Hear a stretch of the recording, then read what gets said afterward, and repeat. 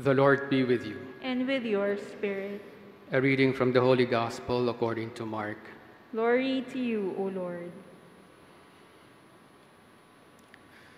Jesus summoned the twelve and began to send them out two by two and gave them authority over unclean spirits.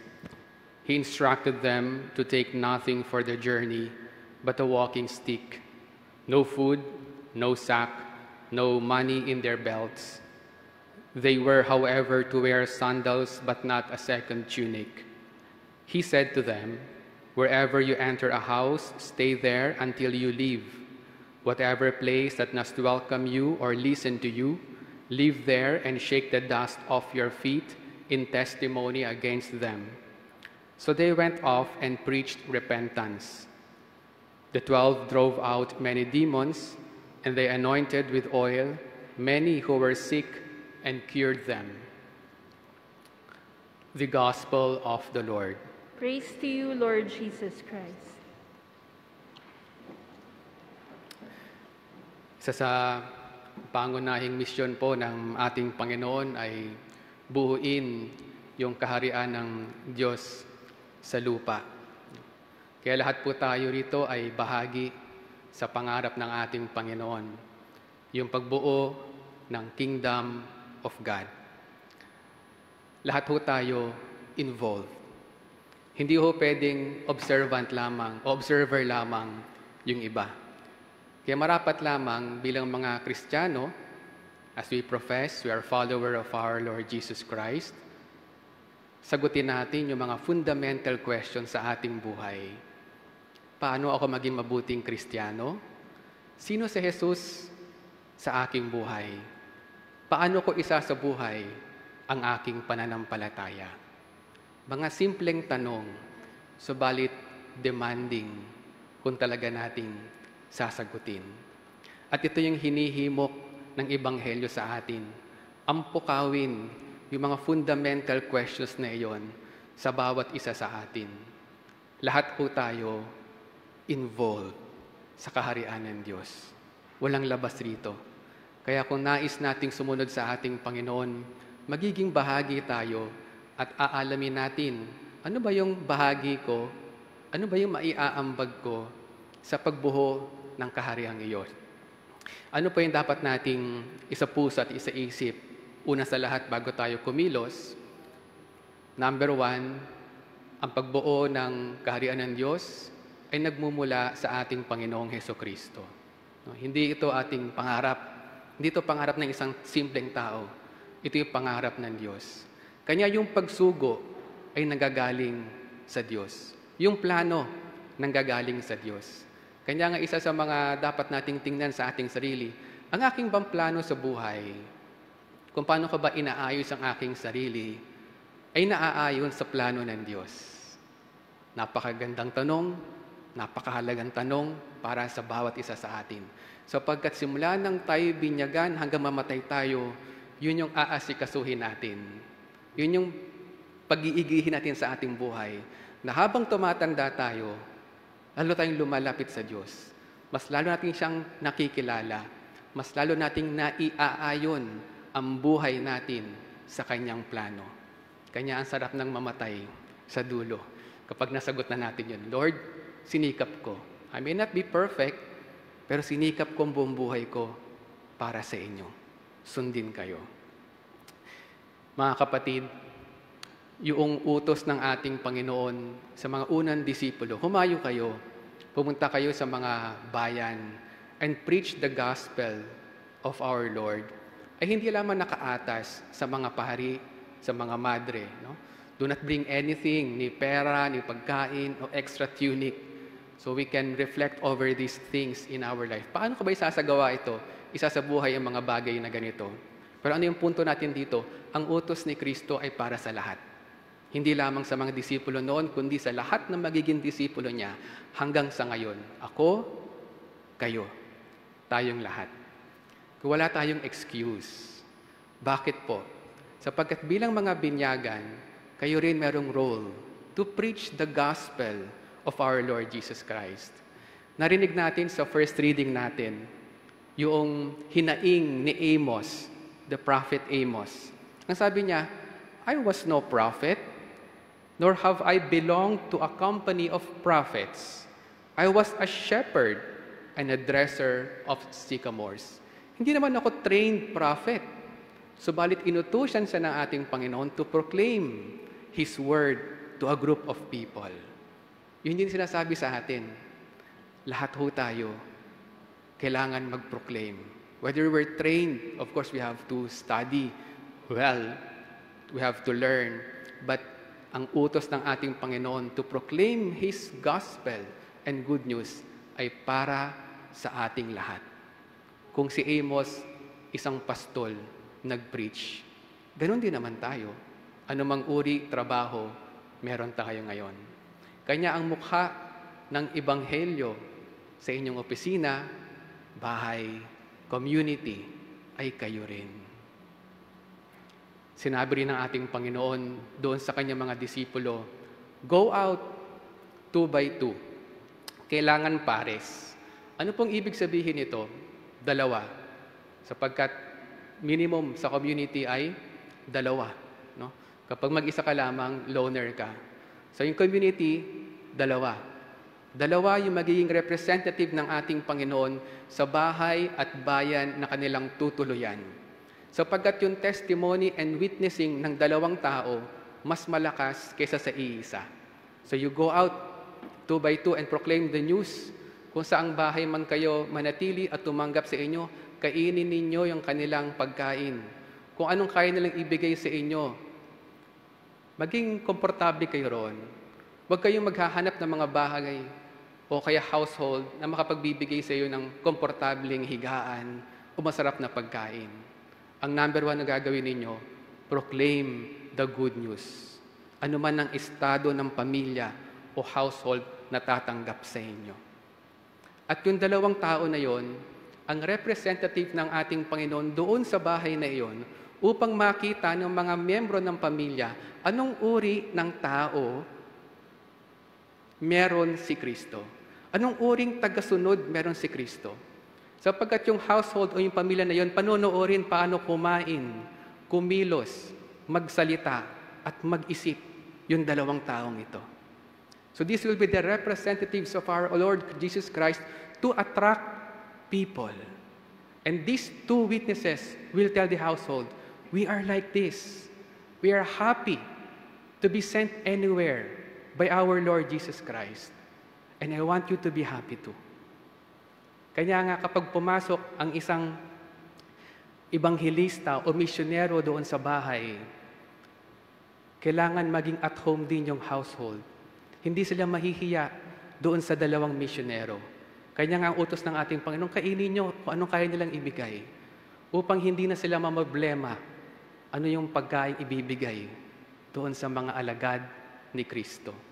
So that they will also feel, ay kahit pala mahirap kami, pwedeng makarating sa amin ang balita ng Diyos. And that attitude builds communities. Bakit kailangan sabihin ni Jesus ito? Upang makabuo ka ng komunidad. Huwag ka na mag-inarte. Ang mahalaga, gampanan mo yung mission mo. Make them feel comfortable in your presence. Ang mensahe ng Diyos ang mahalaga.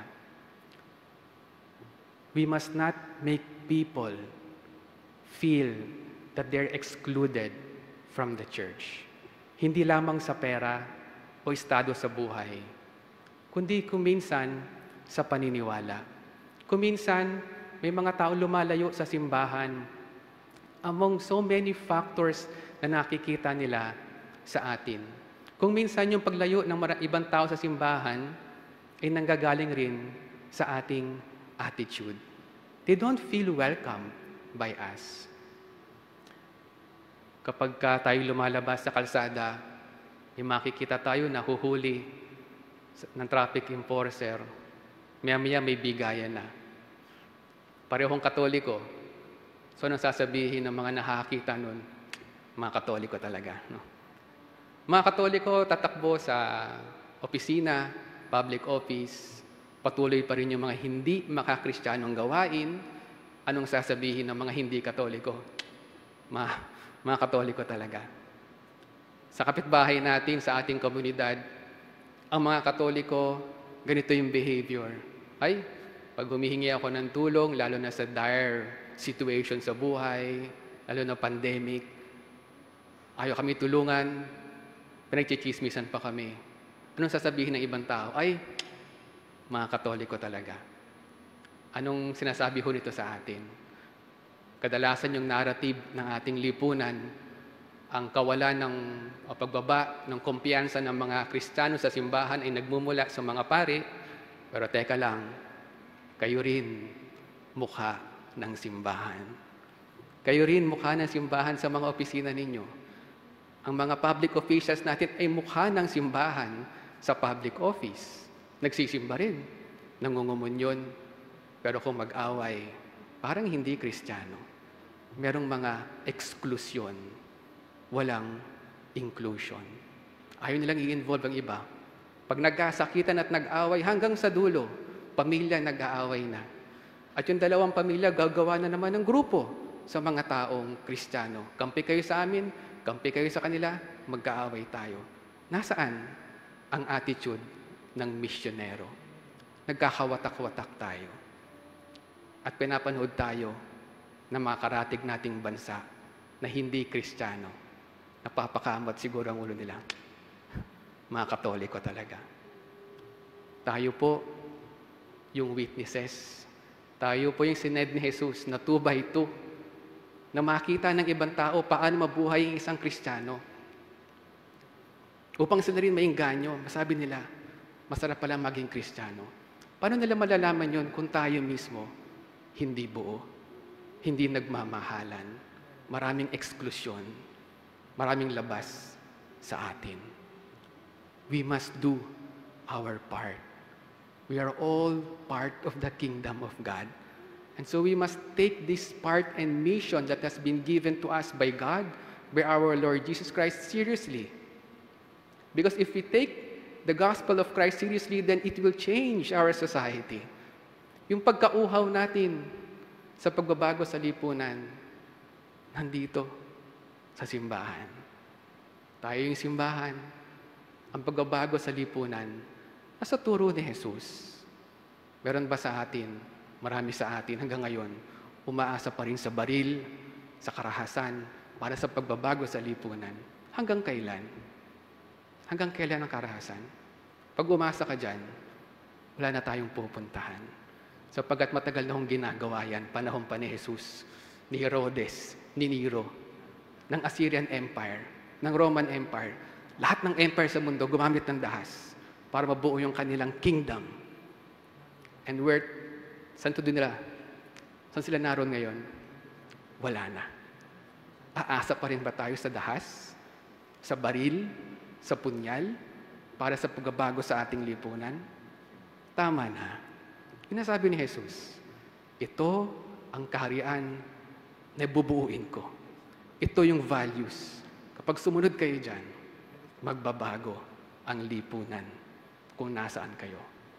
Very practical. Pagkat nanggaling sa Diyos. Doon tayo umasa. Doon tayo tumingin sa pangako ni Jesus na lipunan, kaharian, komunidad, simbahan. Pag lahat tayo actively involved, then nandun na ang kaharian ng Diyos. Magbabago ang mundo pag tayo lahat sumunod at sineryoso ang ating role as missionaries of Christ. Sa panghuli, iiwanan ko po kayo ng isang kwento. Paano ba kumikilos ang Diyos doon sa kanyang mga misyonero? Meron akong isang kaibigan na sa high school, wala na siyang magulang. So, pag-graduate na siya ng high school noon, wala na rin silang pambayad, no? Sapagkat lola na lamang niya yung nagpapaaral sa kanya. So nalaman ito ng isa sa naming kabatchmate na nagmula sa isang marangyang pamilya at inuluhog niya sa kanyang mga magulang yung estado ng aming kaibigan. Ah, Wala nang pantuition, di makatapos mag-aral. So ang ginawa ng magulang ng aming isa naming kaibigan ay kinupkop itong ulila. Pinag-aral niya. Pero risky. Sapagkat maraming issues yung bata. Marami siyang galit, nasa yung nanay ko, nasa yung mga magulang ko. Subalit, kahit na ganun, kinupkup siya at tinuring siyang bilang anak nung hindi niya kaano-anong dugo.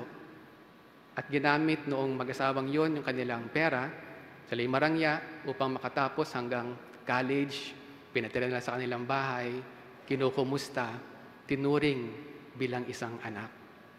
At ito'y nalaman ko na lamang bandang huli na ang mga magulang pala nito ay mga debotong katoliko.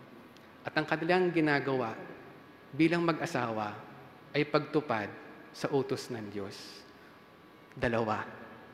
Two by two. Kaya kung malakas yung mag-asawa, malakas yung pananampalataya ng mag-asawa, ang dami nilang pwedeng gawin. Kaya yung preparation ho natin sa ating lipunan, lalo sa mga magkasintahan, dapat seryoso rin. Kapag seryoso yung magkasintahan, boyfriend and girlfriend, sa kanilang pananampalataya, you can see na yung pagsasama at relasyon ninyo, may malaking bunga yan na maganda sa lipunan. So two by two, mag-asawa, magkaibigan, magkasintahan. Lahat nakatingin kay Kristo. Lahat misyonero ng Diyos. And you will change the world because you are followers of our Lord Jesus Christ.